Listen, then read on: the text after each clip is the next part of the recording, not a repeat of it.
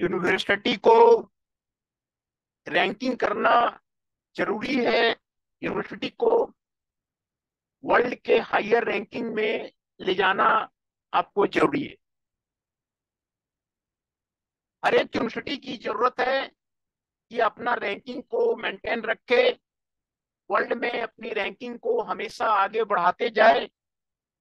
यही सबसे ज़रूरत की बात है। और आज का जो पेपर है, वो आपको यूनिवर्सिटी रैंकिंग आपको प्रॉफिटेबल है, इसी के बारे में है। तो